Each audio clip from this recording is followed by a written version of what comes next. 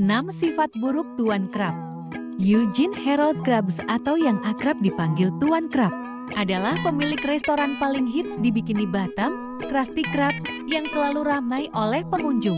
Tuan Krab dikenal sebagai orang yang sangat pelit kepada siapa pun. Obsesinya yang berlebihan kepada uang terkadang merugikan banyak orang. Ia juga tak segan mengorbankan siapa pun agar bisa mendapatkan lebih banyak uang. Selain pelit, Enam sifat buruk ini juga dimiliki oleh Tuan Krab yang terkadang membuat penonton kesal. Pertama, egois. Tuan Krab mencoba melenyapkan Squidward setelah mengetahui soal sebuah lukisan yang pemiliknya telah tiada akan berharga sangat mahal. Berbagai cara Tuan Krab lakukan untuk menghilangkan Squidward mulai dari mengirimnya ke Mars hingga mencoba memukulnya dengan palu agar bisa menjual semua lukisannya dengan harga tinggi. Tuan Krab mengubah seluruh isi Krusty Krab berbentuk SpongeBob termasuk Krabby Patty. Krabby Patty yang menguning karena sudah basi tetap dijual oleh Tuan Krab tanpa peduli jika Krabby Patty tersebut meracuni seluruh pelanggannya. Kedua, tak tahu berterima kasih. Tuan Krab yang bertingkah terlalu pelit dihampiri oleh Flying Dutchman yang mengancam akan meletakkannya di loker Davy Jones jika ia terus bersikap pelit. Tuan Krab pun mulai bersikap baik, tapi lama-kelamaan, Tuan Krab mengira dirinya bersikap baik karena sedang berhalusinasi saja.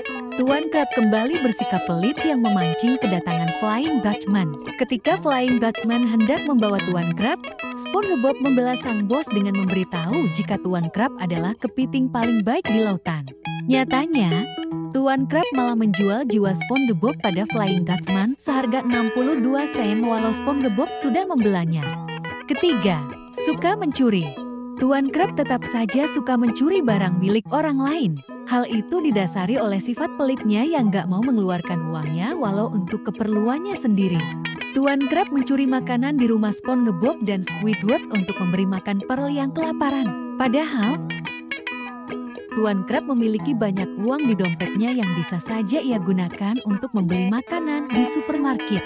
Keempat, pemaksa. Tuan Krab membuat variasi Krabby Patty baru yang diharap akan mengundang lebih banyak pelanggan dengan Patrick sebagai bintang iklannya. Patrick menjadi terkenal dan sibuk sejak jadi bintang iklan, Hal itu membuat persahabatannya dengan SpongeBob jati merenggang. Patrick beberapa kali mencoba protes karena nggak diberi waktu istirahat sama sekali.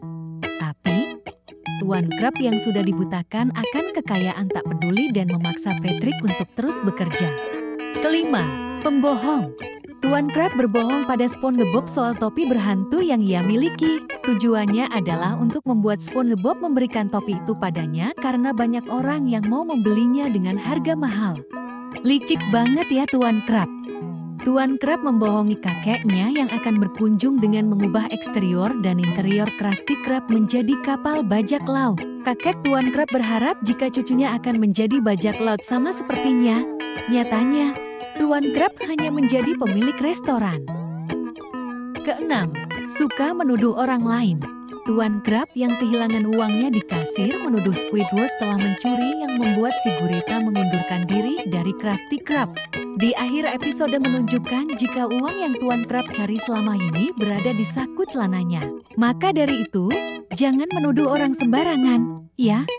Kasihan SpongeBob yang cepat mendamaikan kedua belah pihak. Dasar si Tuan Krab.